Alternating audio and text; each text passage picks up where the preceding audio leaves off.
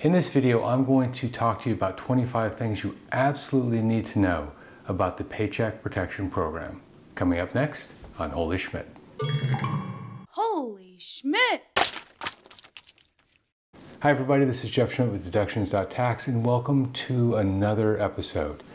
This episode is about the Paycheck Protection Program and this document right here which is the what's called the interim final rule document.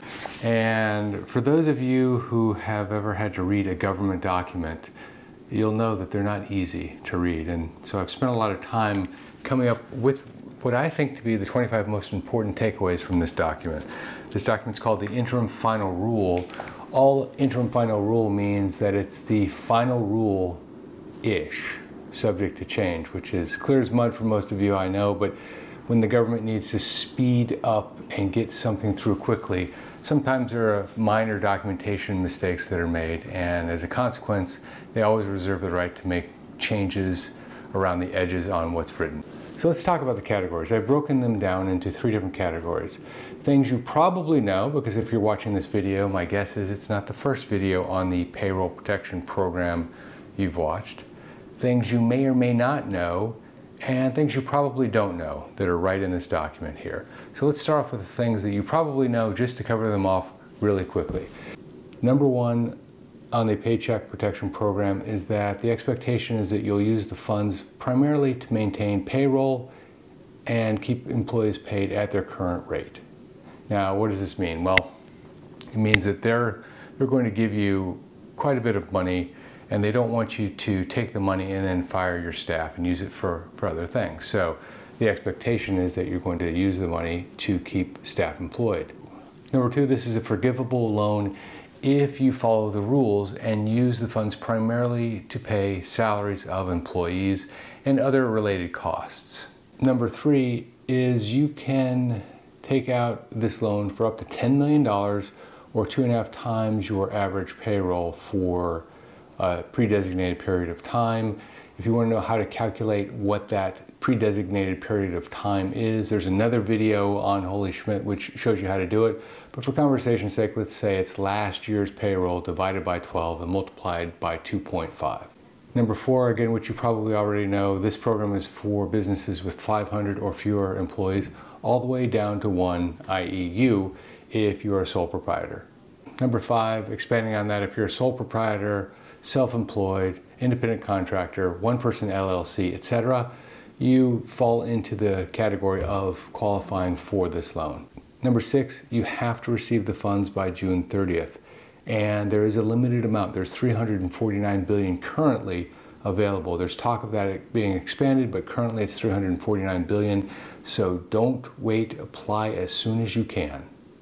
Number seven, again falling into the category of things you probably know, but if you operate an illegal business, you don't qualify for the loan, of course. Number eight is a little less obvious until I say it out loud, and that is if an owner of 20% or more of the business is in prison, on parole, or under indictment, they don't qualify for this loan. Number nine, the SBA guarantees the loan, so if you have bad credit or no credit, that's okay as long as you're not delinquent or in default on a federal loan, such as a loan from the SBA. And if you are, and it's been more than seven years, then you're still good to go. Number 10, you need to have been in business since February 15, 2020. The government doesn't want you setting up a business only to collect payment on the PPP. Number 11, household employees such as nannies and housekeepers don't qualify when you are calculating the amount of payroll for the loan on the PPP.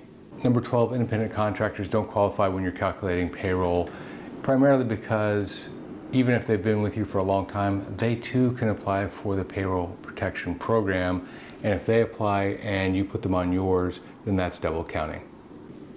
Number 14, you pay absolutely no fees. There are fees that are paid, but that's paid for by the government to the banks and they're quite significant, and I'll talk about that a little bit later in this video. Number 15, the bank will run you through its anti-money laundering process called the BSA or the Bank Secrecy Act. So if you're operating an illegal gambling room outside of the back of your dry cleaner, well, you probably shouldn't apply for the loan.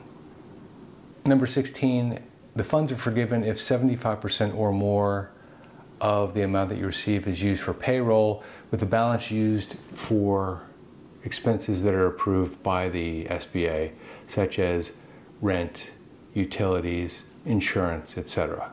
Number 18, if you've received funds for an EIDL, an economic injury disaster loan, that amount can be added to your Paycheck Protection Program balance and still be forgiven if you comply with the 75% rule that we talked about earlier. Number 19, it's widely believed that if you have employees that make $100,000 or more a year, that they can't be used in the calculation of your average payroll. But that's incorrect. It's just the amount over $100,000 that can't be used. So if you had an employee that made $120,000, you can use $100,000 and you have to discard the other $20,000 in your calculation. Number 20, you can only apply for the PPP once, so apply for the maximum now. Don't try to top it up later. 21, the banks make quite a bit of money on this. They receive a fee of between 1 and 5% of the principal amount that is lent to you. And that's paid for by the federal government. It's an upfront payment. And whether you have the funds for 60 days or two years or somewhere in between, that fee is theirs to keep. Number 22, the owner's pay is also considered part of payroll when calculating the payroll costs. Number 23, speed is the mandate here. The SBA normally has a 30 day waiting period, but the 30 day waiting period has been replaced in this program with expeditiously.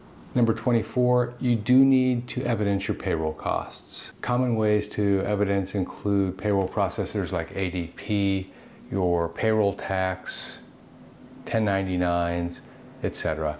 There are a lot of different options to provide evidence, but the, the bottom line is you do need to show what your payroll is in order to get the loan. Last but not least is number 25.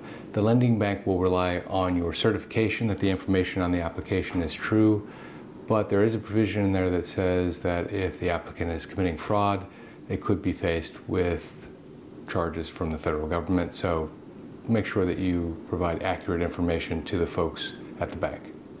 Gang, that's it. That's my top 25 list. If you have something else to add, put it in the comment section below so that others can learn from, from your experience as well. Also, don't forget to hit subscribe and give the video a thumbs up if you like it so that others can find it here on YouTube. Thanks for watching.